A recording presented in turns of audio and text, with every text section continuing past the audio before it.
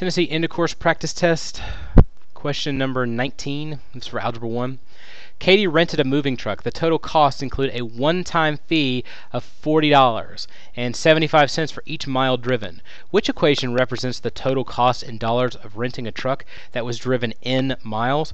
Now, if you just put the n value in front of this, it would look significantly like this,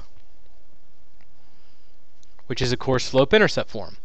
What the number by itself represents is something you pay regardless of uh, how much you actually use the item.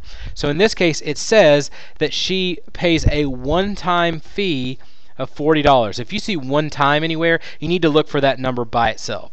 So this one has 40 by itself, and so does this one. This one has 40 with a number. That's not a one-time fee. Same here, no. So it's either A or B already off the top. Now it says she uh, pays 75 cents for each mile that she drives. So it's either going to be divide by the number of miles or multiply. So let's just be logical about it. If I have 75 cents, I know that 2 75 cents is uh, $1.50, so let's divide by 2. Well, that doesn't give me $1.50, does it? But multiplying does. 1.5 is $1.50, so your answer is just a. It's actually really simple. Look for one-time fee, find that number by itself, and then 75 cents for each mile driven, and you're good.